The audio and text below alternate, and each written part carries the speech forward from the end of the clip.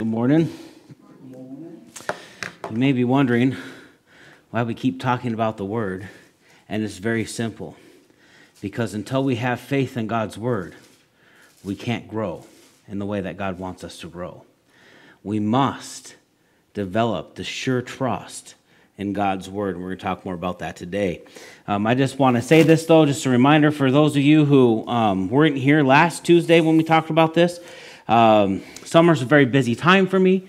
VBS is going on at other churches and different things that take my time. So, prayer meeting on Tuesday nights has been postponed until July 27th, I believe. I just looked that up and now I'm already forgetting. Yes, July 27th. Tuesday, July 27th is the next time we'll meet. Tuesday night at 6:30 for prayer meeting. We're still going through Revelation. We're up to the sixth. No, sixth. Oh no! Next time we meet, I'm sorry, I got two different ones going on right now. I got one Houghton Lake, one here. Next time we meet, we go over the 144,000 in the great multitude, and I promise that by the time we get done, you will know exactly who is going to be in the 144,000, and you'll know exactly who's going to be in the great multitude, and it might be you. So you might want to come July Tuesday, the 27th. Um, at 6.30, we're going to resume our, our midweek um, prayer study going through Revelation verse by verse. But today I want to go into the Bible and do you make God marvel? Before we go any further, though, let's pray. Father, I just ask that you will bless as we move into your message this morning, that uh, you'll send the Holy Spirit, Lord, to let this sink in. Let our hearts and minds be moved by you. Let, let faith build inside us. Give us the, the ability or the, the, the presence of mind or whatever you need to do, Lord. Just let us dare to trust, to accept your word for what it says, and to follow it. In Jesus' name we pray. Amen. Do you make God marvel? I'm going to get into why that's the title here later in the sermon.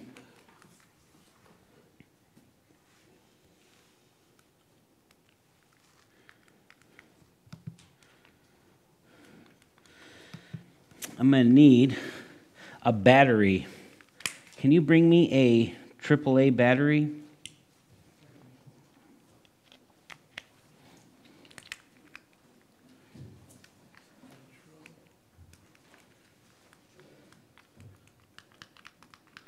Yeah, battery's dead. All right. Do you make God marvel? There's a story it was in the Reader's Digest. I'm sure it's not true because I don't think it's even possible for this to happen. But in nevertheless, there's a story that's in there. And it took place on October 1995, a conversation between the U.S. naval ship and Canadian authorities off the coast of Newfoundland. Hmm. Oh well, we'll just go without that today. Anyways, um, a conversation that took place between the U.S. naval ship and Canadian authorities. Canadian authorities sent out a message please divert your course to the south to avoid collision. The U.S. ship fired back, you divert your course 15 degrees to the north to avert collision. Canadian authorities, negative, you divert your course 15 degrees to the south to avoid collision. The U.S. Navy doesn't like being told what to do, so they fired back. This is the captain of a U.S. Navy ship. I say again, divert your course. Canadian authorities, no. I say again, you divert your course. This is the aircraft carrier USS Lincoln, the second largest ship in the Atlantic Fleet. We are accompanied with three destroyers, three cruisers, and numerous support vessels. I demand that you change your course 15 degrees north. I say again, that's 1 5 degrees north, or countermeasures will be taken to ensure the safety of this ship. Canadian authorities, this is a lighthouse. It's your call. Sometimes, sometimes we think that we have the best plan. Sometimes we think we know better when in reality we just don't have all the information, we don't have all the truth before us. I don't know why it's not going to work today, but it's not working with me today. So, uh, the Bible says, Psalms 119, 105, Your word is a lamp to my feet and a light to my path. No. Um, no, this one. We can't hear you through the mic. Oh, they're just having all sorts of troubles today. Goodness. That means it's gonna be a good message. That's a good message, and the devil don't want you to hear it. Yes. I checked them, they were good, so don't know why. Thank you, sir.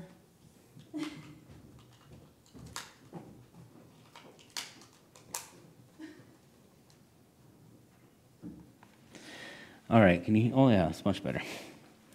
Okay, hold on. I'm going to do something really quick just to see if.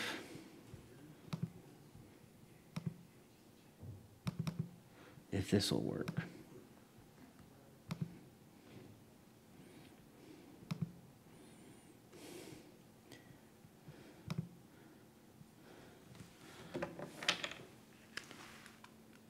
Nope. We're not going to get lucky today. All right, the Bible says in Psalms 119, 105, Your word is a lamp to my feet and a light to my path. How many of you believe that here today? How many of you let the scriptures guide your path in all that you do? Amen. John 8, 12, Jesus says, I am the light of the world. He who follows me shall not walk in darkness.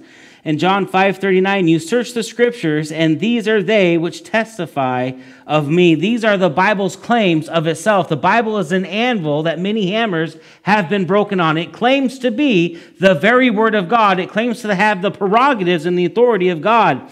And anyone who fights against the scriptures literally fighting against God. French philosopher Voltaire, he was a, he was a great philosopher, wrote many, many books, well established writer, wrote poems, essays, anything, you name it, he wrote it, and he wrote a lot of it, and he was really the first commercialized writer ever in the world. And as he was writing these things, he had a disdain for the Bible, and specifically a disdain for God and the church. He was excommunicated, excommunicated by the Catholic Church, and, and, and because of the practices that they were doing, and he was calling them out for some of the wrong practices, and they excommunicated him, and he was in French, and you know, the French didn't like the church either because they didn't treat the French fairly, and because of the bad practices, because of the mispractices of the church, Voltaire came to hate the, the, the, church, religion, God, and the Bible. And before he died, this is what he said It took 12 men to start Christianity, one will destroy it. 100 years from my day, there will not be a Bible on earth except one that is looked upon by an antiquarian curiosity seeker. Crush the wretch, he said.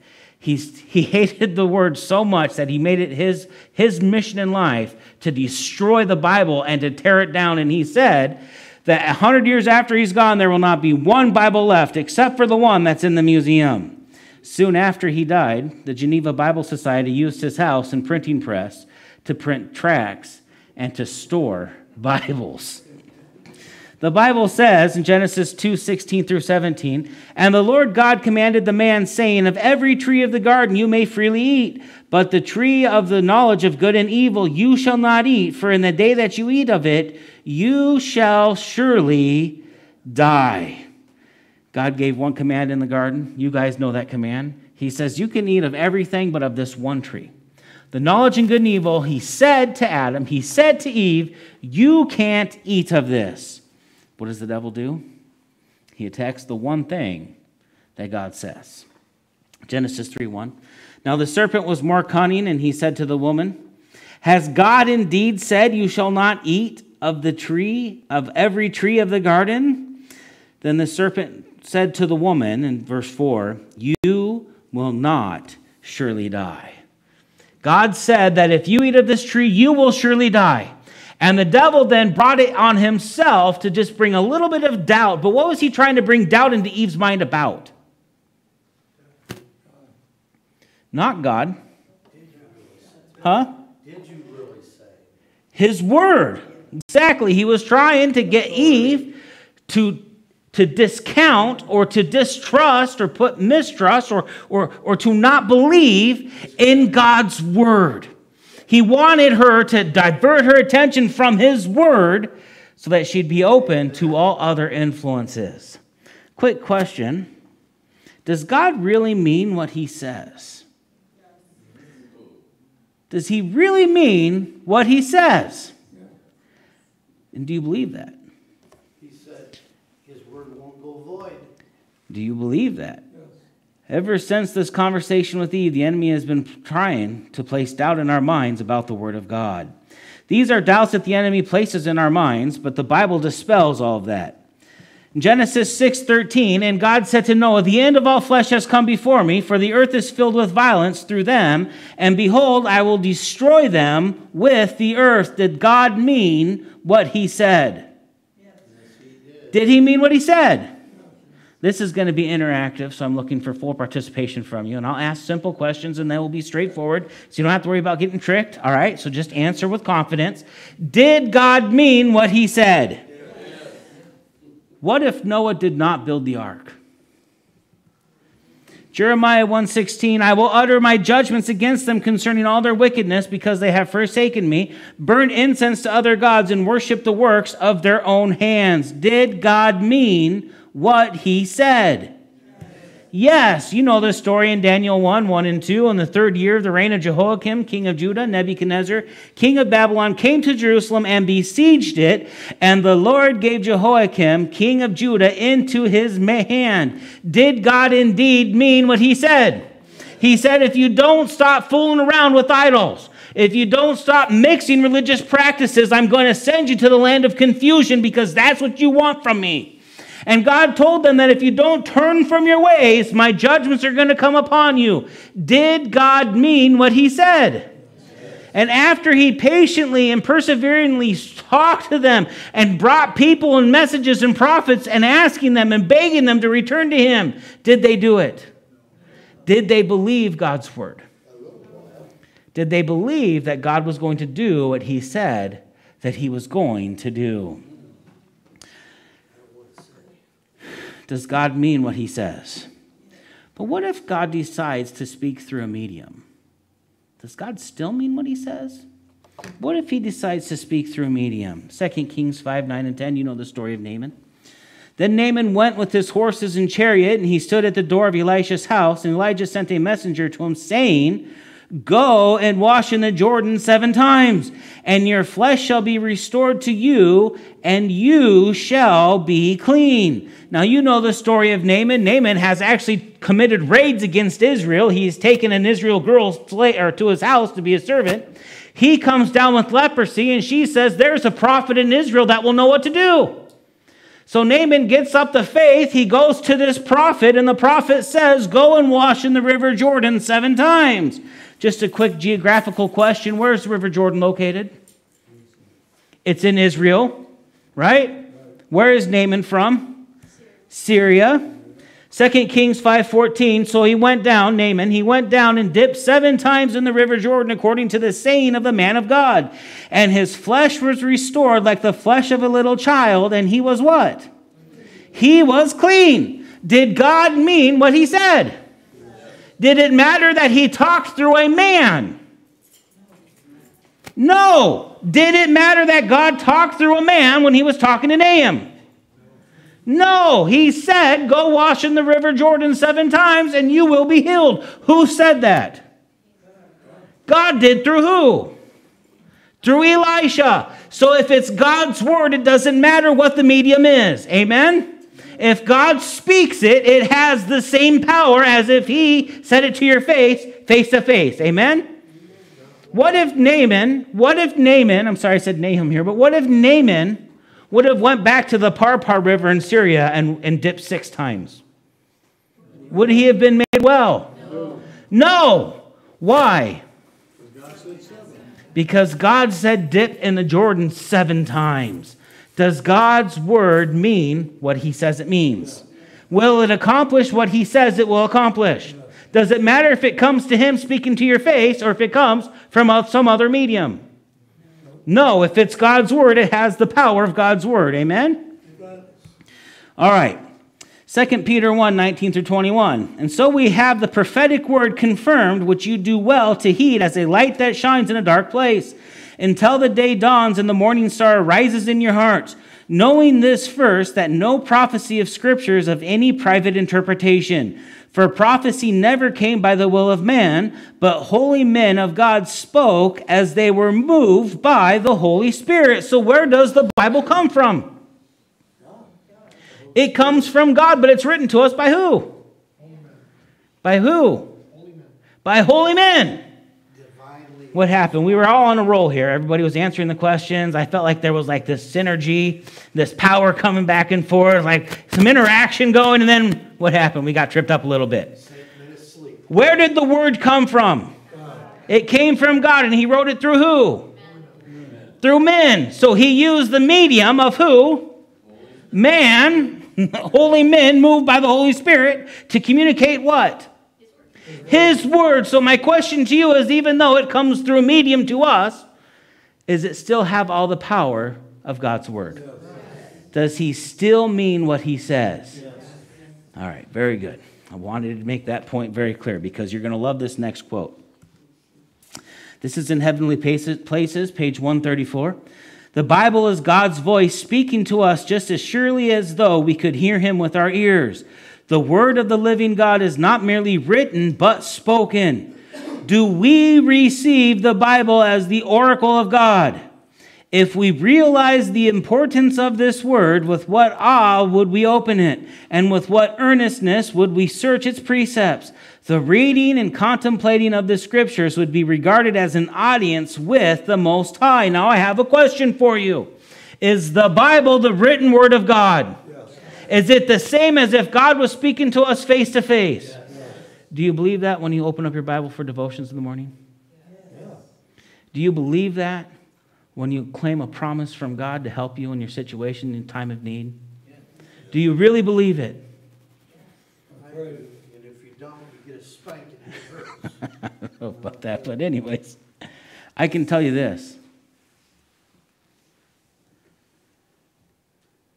My head tells me to say yes to that question.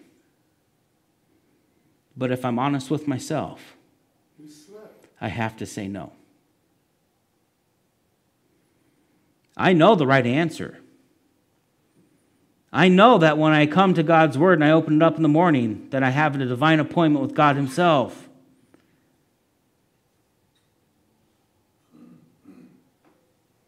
But I don't always walk away with the same confidence that the apostles walked away with when Jesus gave them a direct command face to face.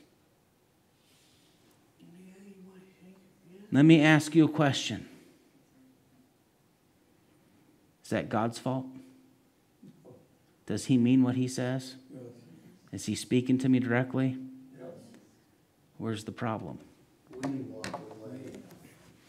She also says, the word of God effectually worketh also in you that believe. 1 Thessalonians 2:13. To depend upon it to work in you that which is well pleasing in his sight, this is faith. What is faith? To depend upon the word, the word of who? The word of God, which comes to us through what?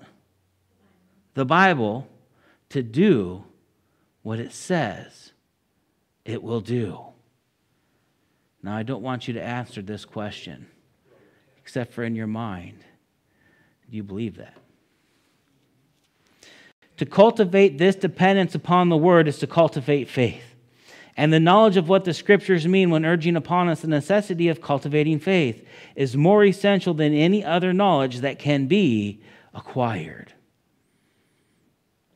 I just want to say this plainly. This is not to criticize you in any way.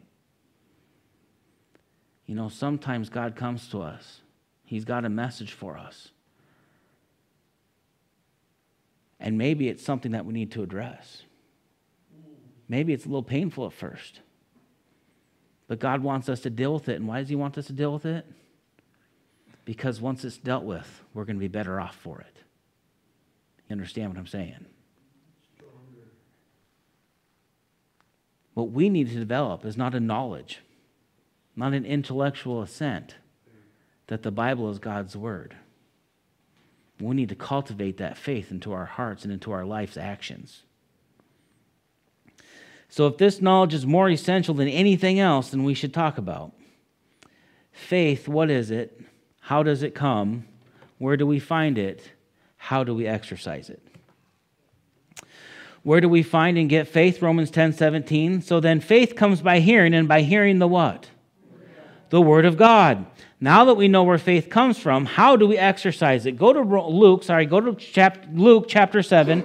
Luke chapter 7 in your Bibles. This is where the sermon title comes from. Luke chapter 7. I want to show you something very interesting. Luke chapter 7, verses 1 through 10. Luke chapter 7, verses 1 through 10. You guys are familiar with this story. This is the centurion. His servant's going to be healed here by Jesus, but I want to point out a couple quick points in these verses. Luke chapter 7, verses 1 through 10. Verse 1 Now, when he had ended all his sayings in this audience of people, he entered into Capernaum. And a certain centurion servant who was dear unto him was sick and ready to die. And when he heard of Jesus, he sent unto him the elders of the Jews, beseeching him that he would come and heal his servant. And when they came to Jesus, they besought him instantly, saying that he was worthy for whom he should do this. So he came to certain people that knew Jesus, and he said, My servant's sick, he needs to be healed. And they come to present this case to Jesus, and what do they do? They build their case for this man, don't they? Oh, this man is worthy for this miracle. He's worthy for your divine grace. He's worthy for your divine healing. He's worthy. And then they go on to tell why. For he loves our nation and he has built us a synagogue. He's built us a church. Jesus, this man is worthy because he loves us. This man is worthy because he's built us a church. Jesus, you're lucky that this man is with us. That's man's that's man's work right there.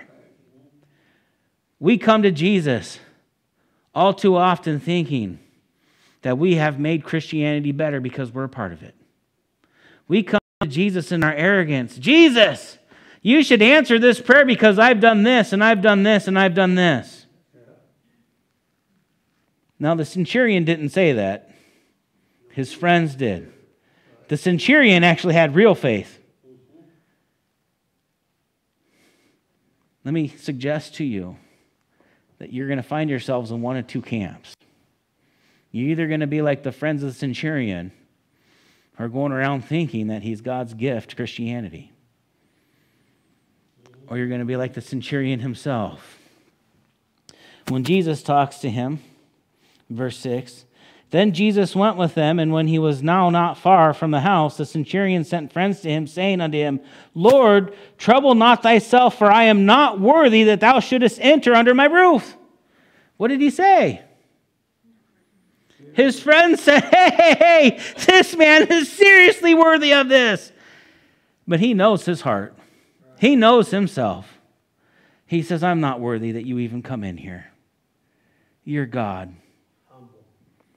I don't deserve for you to come into my house. But he knows that he needs a miracle. So what does he do?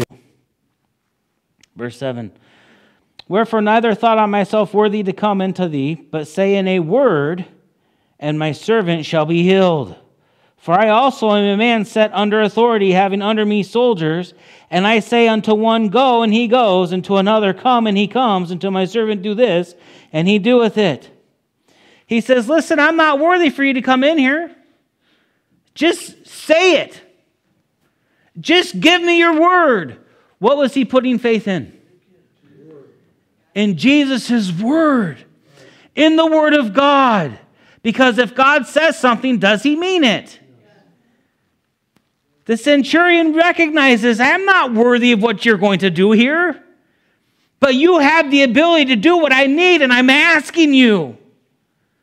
I'm crying to you, God, because in your word you said that you would give mercy to those who cry to you. In your word, you said you love those that cried out to you and asked you to do those things. In your word, in Jeremiah 33 3, you said that if we call upon you, you do great miracles. And now I'm calling upon you, but I'm not worthy of what you're about to do, but I'm just asking that you say the word to make it happen. And how does Jesus respond? Verse 8 Sorry, verse 9. When Jesus heard these things, he did what? He marveled at him. Why did he marvel at him? Yes. He marveled at him and turned him about and said unto the people that followed him, those same ones that came and said he was worthy. He said to them, I say unto you, I have not found so great faith, no, not in Israel. And they that were sent, returning to the house, found the servant whole that had been sick. He marveled at the centurion because he believed his word. Had nothing to do with any action he ever did for Jesus. God loves it when we donate to his church.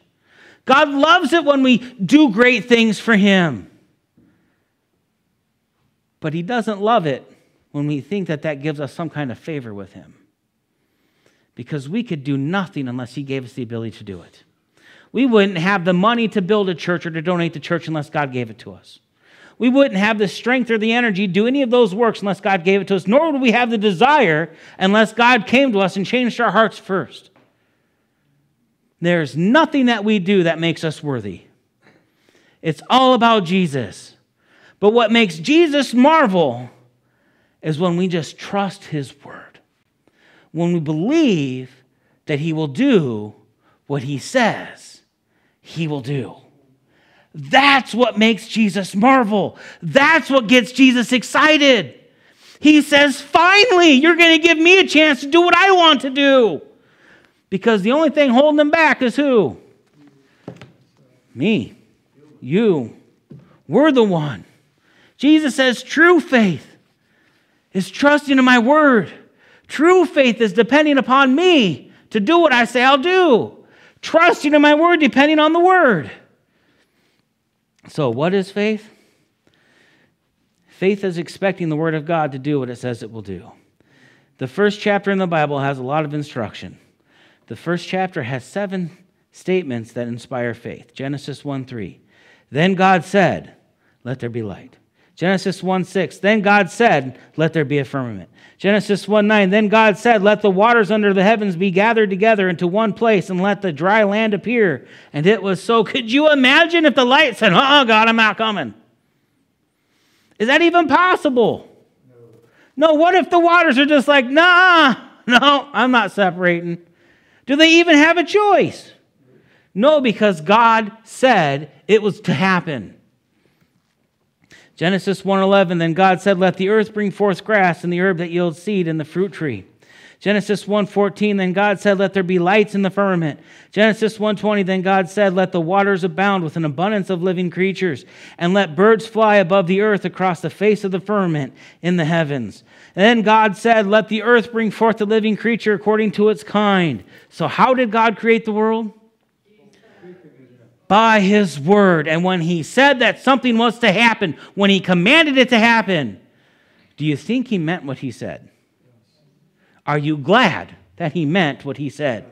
When you look around and you see the beautiful sunshine, are you glad that God meant what he said? When you see the beautiful clouds floating over your head, are you glad that God meant what he said? When you see those beautiful rivers that cool you off when it's so hot outside because of that sunshine that God made, are you glad that God meant what he said? Do you believe that God means what he says? Then you have to believe that by the word of the Lord the heavens were made, and all the host of them by the breath of his mouth. Whatever God commanded it happen. The spoken word of God is what caused this world to exist. Now, this is the point that we're driving to. Jones and Waggoner, Lessons on Faith. This is Lessons on Faith, page 10. Thus it was in creation, and thus it was in redemption. He healed the sick, he cast out devils, he stilled the tempest, he cleansed the lepers, he raised the dead, he forgave sins, all by his word. In all this also he spoke, and it was. And always he does all things by his word only. And always he can do all things by his word because it is the very characteristic of the word of God that is possessed of the divine power by which itself accomplishes the thing which is spoken. In other words, God is saying to us, It is through my word. Trust my word. You need healing? Go to my word. You need victory? Go to my word. You need instruction? Go to my word. You need encouragement? Go to my word. You need comforting? Go to my word. Whatever you need, it's there, it's in my word. That is why it is that faith is, that is why it is that faith is knowing that in the Word of God there is this power, expecting the Word itself to do the things spoken, and the depending upon that Word itself to do which the Lord, which the Word speaks. Do you believe that? Do you believe that when I open the Bible and I find that promise from God, that He's speaking to me directly? Just as if Jesus was here speaking to me. Do you believe that? Does He mean what He says? Then the Word has to change you. The Word has to change me. Because if God says it, it's got the power to accomplish it. Teaching of faith is the biblical principle that the Word of God will do what it says it will do. Raise your hand if you all believe this. How many believe this? Raise your hand. We all believe that, right? Amen. But the cultivation of faith is the confidence that the Word of God will accomplish in my life that which it says it will do. Now, brothers and sisters, I'm going to be honest with you. I don't think we lack the first. I don't think the understanding is the problem. I think the cultivation and depending upon God's word to do it is the problem. Because if you're anything like me, you know all too well what it's like to pray for God to help you and then to get up off your knees and call everybody you know and try to figure out how to do it yourself. The problem isn't the knowledge, because we all start out going to God. We must cultivate the confidence that the Word of God will accomplish in my life that which it says it will do. So let's talk about this. Habakkuk 2 4 and Romans 1 16. The just shall live by what? By faith. What is faith? Depending upon, that's a great answer. Depending upon God's word, trusting in Jesus, right? Trusting in God. That is faith. Trusting what they did. Now, I'm just going to pause here. I was visiting this cancer patient. She didn't have much time. The doctor, the oncologist, looked at her and said, We're going to treat this to prolong life, but we're not going to cure this cancer. It's a very aggressive form of cancer and they can't operate, they can't do anything but give chemo. Man has no solutions for this woman's problems. I looked at this woman. I said, Are you saved? She said, Yes, I'm saved, but. Yes, I'm saved, but. Where does that but come from? Then she performed. She, she went on to talk about what that but was. But I'm not doing what God wants me to do. I'm not following God. I said, So are you saved? Well, confidence started leaving her. And I just want to pause the just shall live by faith.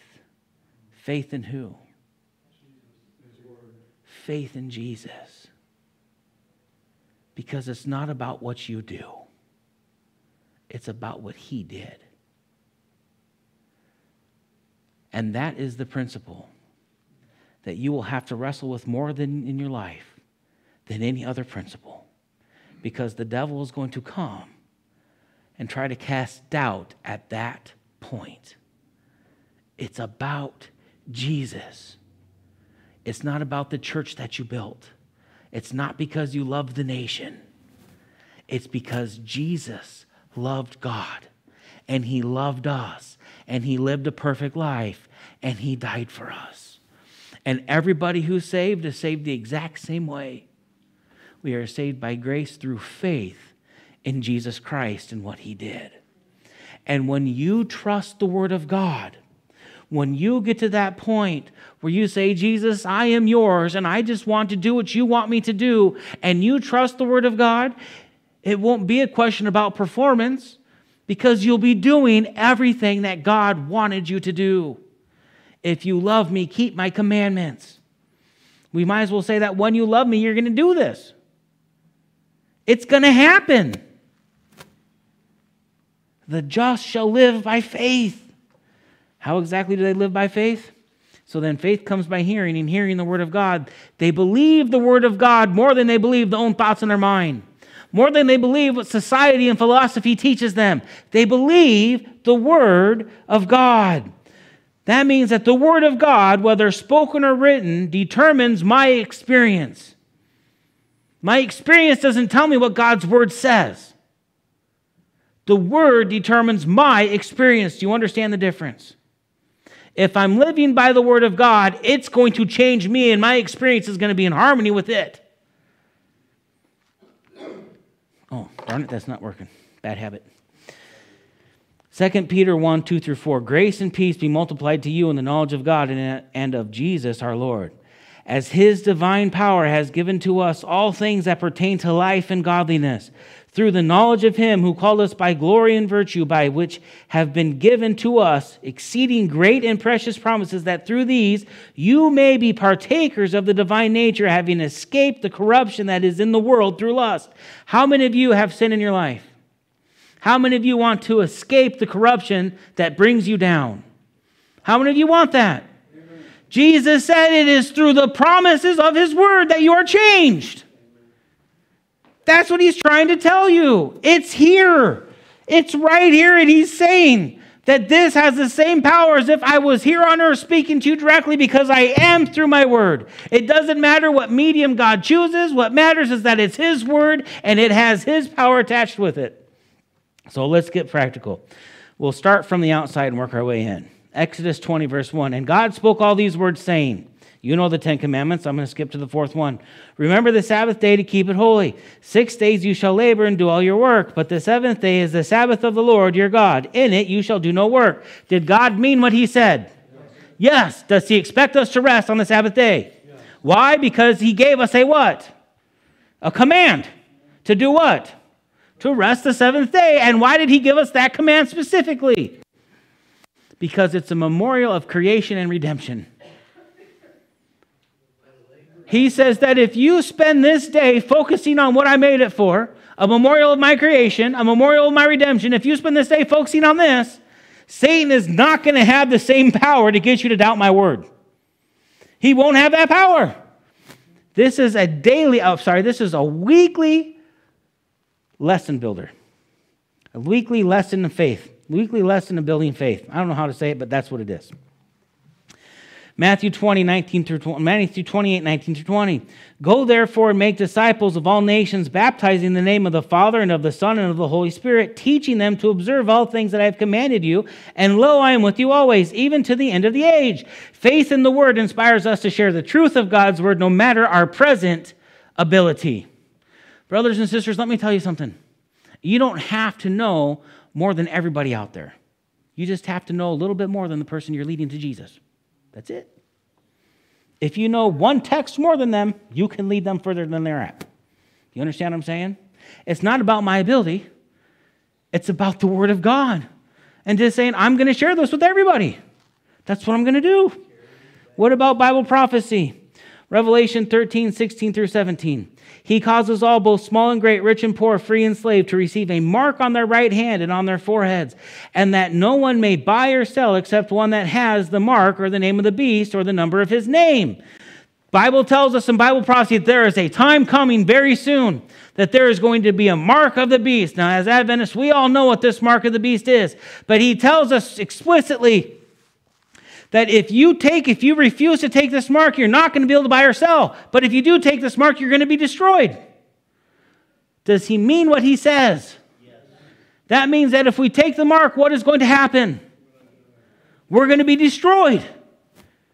But if we stand with God's word, we're going to resist the what? The mark. Verse 17, or chapter 17, verse 5, and on her forehead the name was written, Mystery, Babylon the Great, the mother of the harlots and the abominations of the earth. I just want to say, before the mark of the beast is mentioned, the seal of God is presented in Revelation 17, Revelation chapter 7. That means that God's people are sealed. he finds a way to seal them before he talks about this event that's going to happen. He says, Don't worry, something bad is going to happen. But those who are with me, they're going to be sealed. They're going to fly right through it. Why? Because they have put their trust in the Word of God. Does it sound like a broken record yet? Have you heard it enough? The Word of God, the Word of God, the Word of God. The reason why is because we have the knowledge, but are we cultivating it? Are we cultivating our faith? One day, just like Noah, what we preach will be a present day reality. Why? Because the Word of God has said so. Now let's move forward. Revelation 14:1. Then I looked, and behold, a lamb standing on Mount Zion, with him 144,000, having his father's name written on their foreheads. Verse, or chapter 14, verses 4 and 5. These are the ones who were not defiled with women, for they are virgins. These are the ones who follow the Lamb wherever he goes, and in their mouth was found no deceit, for they are without fault before the throne of God. Brothers and sisters, this should be a promise to you that no matter how you see yourself today, God can help you to live victorious lives. God can help you to rise above what society says is acceptable. God says that there's going to come a time where I'm going to have those sealed who follow me fully. And who is that? That is anyone who puts their faith in the Word of God. Matthew 19, 4 and 5. And he answered and said to them, Have you not read that he who made them at the beginning made them male and female? And said, For this reason a man shall leave his father and mother and be joined to his wife, and the two shall become one flesh? I hate to tell you, this is the biblical definition of marriage. This is what Jesus defines marriage. It's between a man and a woman. I don't care what society says. God's word tells us differently. God's word tells us that this is this is what marriage is. It's between a man and a woman. It is not my mind that tells me what I am. It is God's word that tells me what I am. My mind doesn't tell my body what it is. God made my body the way he wanted it. It's God's word that defines who I am what I am, and how I practice my life. And the best news I can give anybody who struggles with this is that if you believe that God's word has the same power that created the world out of nothing, then he can take the desires that you have and he can recreate them to like what's in harmony with his word. He can change you completely and fully, and he'll do so if you trust his word and put your faith in him. 1 John 1 9.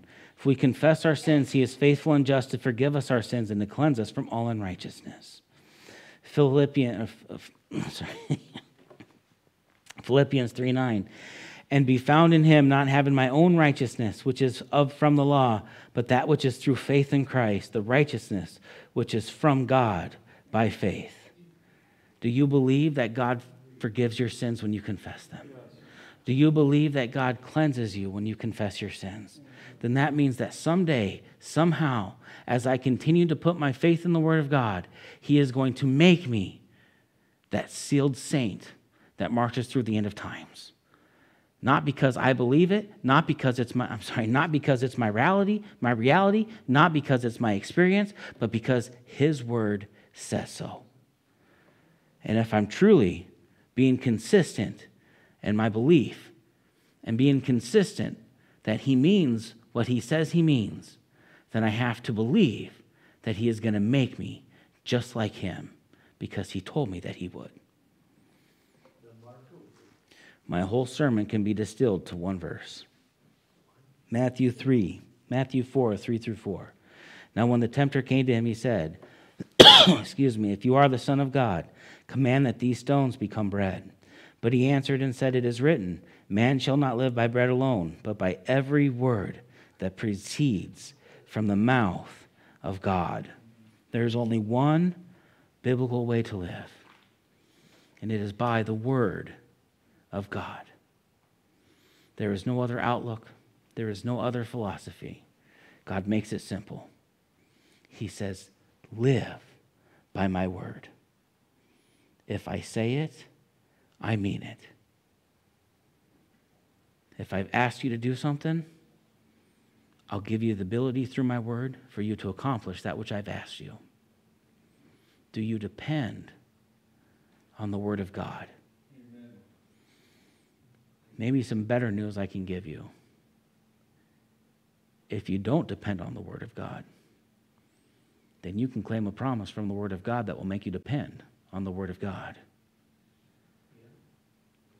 This is the most important truth that there is. The devil, from the very beginning, tried to get Adam and Eve to doubt God's word, and he was successful. But the second Adam came, Jesus Christ. He went through the wilderness, fasted for 40 days with all his great disadvantages, and he sat at that tree. I'm sorry, he sat at that wilderness face to face with the devil. And the devil tried him to get to doubt what? God's word. He tried to get him to doubt God's word. But Jesus remained firm in his trust of God's word.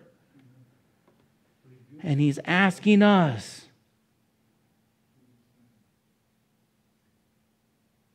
put faith in my word, depend upon it.